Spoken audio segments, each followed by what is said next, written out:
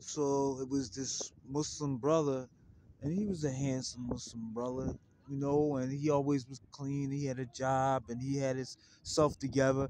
And but he used to always go out and give the dawah.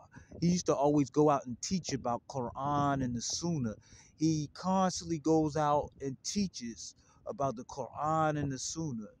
And he he spoke in front of hundreds and thousands of people. Sometimes he speaks in front of people alone. Sometimes he speaks he spoke to his family, he spoke to his friend, he even spoke to different people on his job, and he practiced the deen of Islam, and he constantly asked he constantly asked Allah, please, Allah, give me a wife. He begged Allah for a wife at night when it's time that your prayers get answered at night, the tahajjud. He begged Allah, but he still didn't never see himself with a wife. He started to see many people get married, men and women get married at his masjid. He continues to go out and give dawah. He giving dawah. He's teaching people about God. He's teaching the people about religion. He's teaching people about good manners. But to no avail, he he don't see himself getting married. Years pass. He didn't get married. So he met some women that he wanted to get married to, but it didn't work out. They didn't want to marry him for some reason. But he continued to go out and give the dawah. He was teaching and teaching and teaching people about God. He teach people about Allah. So one day he's crying, crying and crying and crying. Will I ever get married? Why? Everybody else getting married. It's people in this congregation that got four wives. Why? Why I don't have one? He's crying tears. So uh, a wise and intelligent Muslim man walked up to him and said, Why are you crying for? You are practicing the deen. You are blessed with this deen of Islam. You're blessed with the with the truth. Why? Why are you crying like this?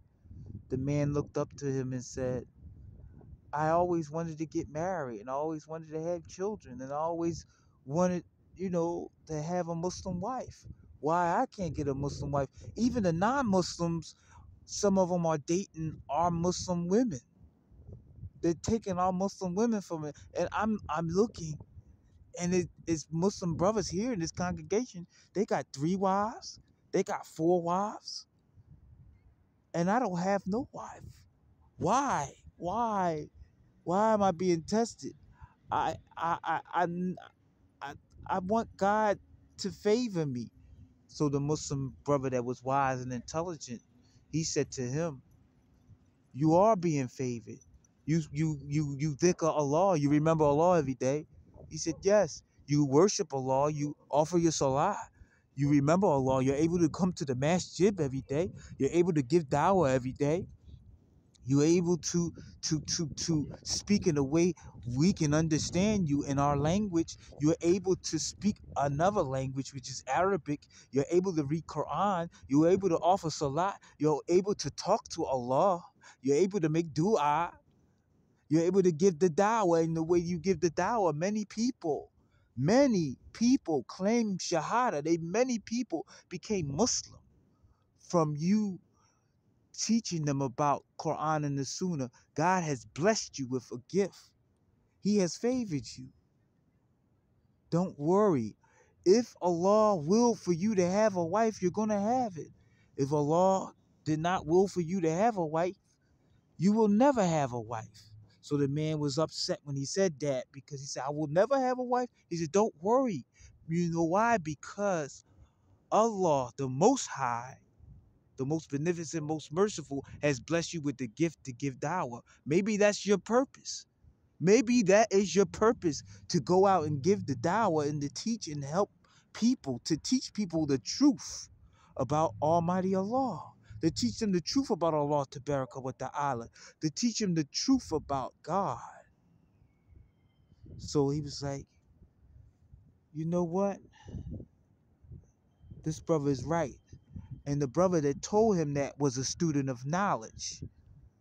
He studied under sheikhs and he studied under a, highly intelligent Muslims. So the moral to the story is if you don't have something that another Muslim have, or if you're a, uh, a person that's listening to this that is that may not be a Muslim, if you are if you don't have something that somebody else have, that's a blessing that God blessed you with, don't cry, don't be upset because God has blessed you with a blessing. You might not know that you have a blessing that God blessed you with, but He blessed you with a, a blessing the Almighty Creator blessed you with a blessing that another person might not be blessed with. So when you are doing something that is a blessing, be be happy and and love that God gave you something, gave you a gift and a blessing. And don't give up on worshiping God because you may not think that that dua is answered. That dua might be answered in the hereafter. He may have a whole aim. He may have a, a, a wife in Al a beautiful, flawless wife in Al with a beautiful body, a beautiful face, beautiful jewelry, beautiful garments in Al Jannah. So, brothers and sisters, don't give up. You might find that Muslim husband, sisters, you might find that Muslim sister, Muslim Muslim brothers, don't give up. And if you are someone that are not even uh in Islam, God is almighty. God is the most beneficent, most merciful. God is going to bless you what is best for you to have. So please don't give up on doing righteous deeds. Please don't give up on praying to God, please don't give up on God. Because the Almighty God, the Most High, is the best of planners. Thank you for listening.